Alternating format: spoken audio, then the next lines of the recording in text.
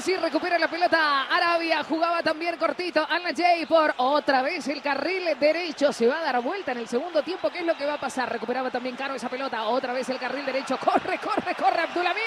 No llega, casi se tira ahí de cabeza con los fotógrafos. 38 y contando Grabano. De nuevo por el carril derecho. Y tenemos al 10, al Dausari, que lo conocimos con el golazo que le hizo Argentina. No lo ha utilizado, lo destacaba recién Pablo eh, en su intervención.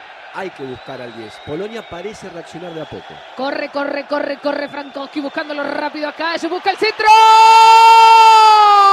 Lewandowski.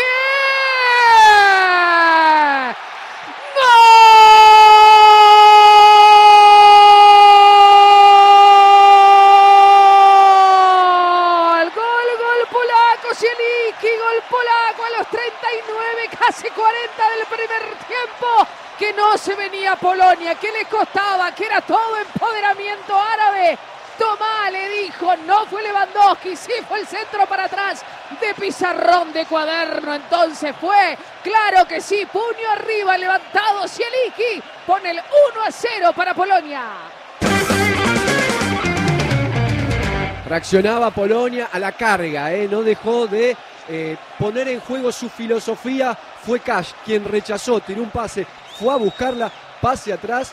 Lewandowski cuando parecía que la jugada se complicaba, le ganó al arquero, centro atrás, había aparecido poquito el 20, uno de los que se espera mucho de Polonia. Primera pelota que toca en ofensiva y adentro para que Polonia gane 1 a 0. Cuidado Lewandowski, Lewandowski, Lewandowski.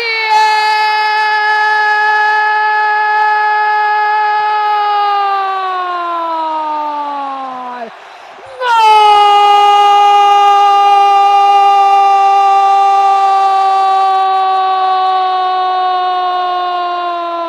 ¡Gol! El capitán Robert Lewandowski, Robert Lewandowski, el capitán con 34 años. Sí, emocionate ahí en el piso. Los árabes no lo pueden creer. 336 partidos jugados con la camiseta de Polonia. Te atajó Ochoa, pero este no te lo atajó Always. Always no pudo, sí pudo Lewandowski, la emoción en un mundial, las lágrimas y la ilusión intacta de Polonia para poner el 2 frente al 0 de Arabia. Falló en la salida el número 8 árabe. No hay que dejársela nunca. A delanteros como Lewandowski, que apenas se acomodó, no le dio tiempo al arquero, definió de zurda al mano a mano y gana Polonia 2 a 0.